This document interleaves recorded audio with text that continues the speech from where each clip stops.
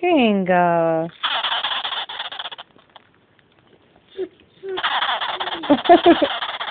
this is eight days out of pouch. She can't see anything. I think she senses her dog.